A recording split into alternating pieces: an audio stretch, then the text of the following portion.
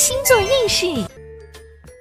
大家好，我是悠悠。新的一周又开始了，天蝎座满月，危机感出现的一周。天蝎座满月给我们带来容易焦虑、质疑，因细小的风声就引发敏感情绪的爆发。部分星座可能会接触到一些真相。太阳和水星很适合做企划、构思、学习、理财、备考等。部分星座思考趋于务实缓慢。接下来我们一起了解一下十二星座五月四日到五月十日的运势，参考太阳星座和上升星座。本周运势红榜：学习提升处女座，个人成长摩羯座，工作进步狮子座。本周运势黑榜：工作危机水瓶座，感情矛盾金牛座，情绪紧绷天蝎座。白羊座综合运势四颗星，事业上本周将更有专注力解决实物工作，容易有进展的一周。爱情上本周可能深层的思考起人性，但小心要过分猜忌，陷入情绪的黑洞。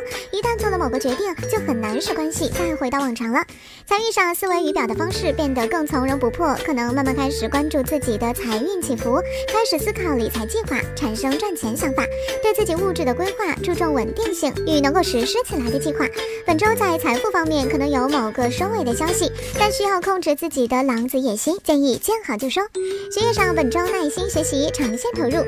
金牛座综合运势三颗星，事业上本周你的情绪很飘荡，也特别想要与过去说再见，切断自己某一些念头。工作上思绪状态很不错，适合学习、创作、规划的一周。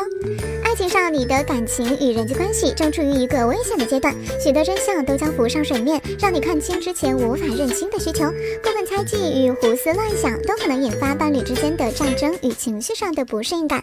财运上本周适合你盘点财务，但注意迷糊开销。学业上本周。周学习效率不错，你能够极大精进自己的学业，发现很多深刻的感悟，优化自己的理论体系。双子座综合运势四颗星。事业上本周一直处于比较被动的状态，你有一种危机感，需要开始去身体力行，处理工作上的任务，担当起生活的责任了。也最好注意一下身心健康的波动，部分人可能会有一些健康的诊断。爱情上男女关系有些暧昧不清，注意朋友之间的界限，可能有些暧昧的言辞和举动出现。本周不是脱单的好时机，很容易逃避现实的责任。财运上本周有财神爷眷顾，有物质享受。学业上本周思绪状态走低了，可能进入比较迟钝的时期，你可能有。特殊的灵感和梦境，但是在工作和学业中可能会走神。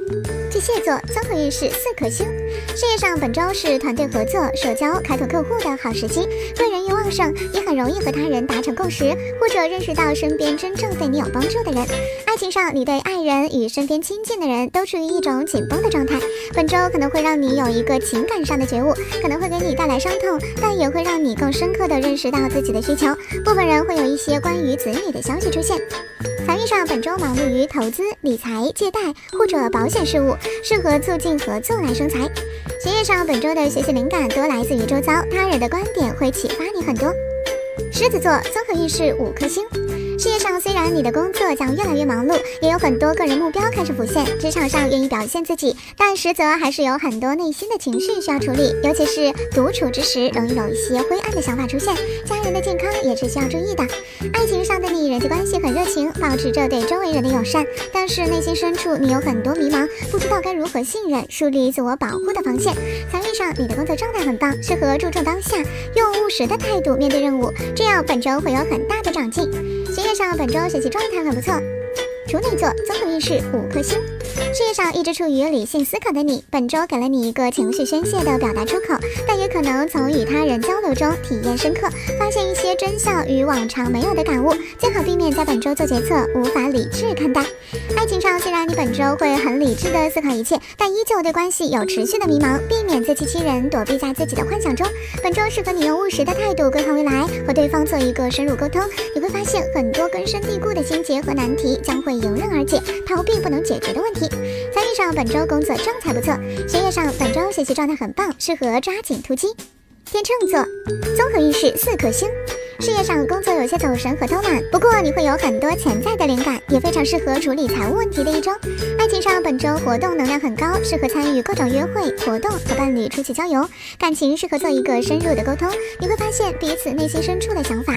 财运上本周可能让部分天秤在一起财务问题，有关合作的分成、夫妻的共同财产，或是一些个人所得、投资理财的领域，都可能有一个结果出来。学业上本周学习运不错，但有些拖延症。蝎座综合运势三颗星。事业上有一些人际关系对你来说很重要，可能目前是一个合作的高峰期，或者你需要和他人交流，促进想法。爱情上，本周情绪起伏较大，非常容易有深刻的体悟，小心过分固执己见，或是情绪化导致伴侣之间的摩擦，也可能通过与他人的交往时，发现自身更多的目标，避免情绪走极端。财运上，本周是偏财运很旺的一周，有一些不知不觉的进账。学业上，本周学习状态很务实，你可能有一些深刻的认知出现，发现以往没发现的规律，对你来说，本周学习效率是绝佳的，可以找到很多真相，迅速突破。射手座综合运势四颗星。事业上，你也许刚刚开始进入工作的状态，收敛玩性，就有一些事情找上门来。你也可能潜意识中有一些不安的感觉，心思浮动，你需要先调整状态，心理排毒，才能够更好的迎接现实生活。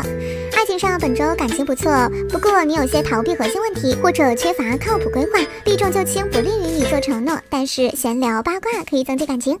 财运上，本周吸金能量很强，只要努力工作，认真执行工作计划，你会发现本周突破迅猛，尤其是自由业和创业的射手，有机会促进大订单。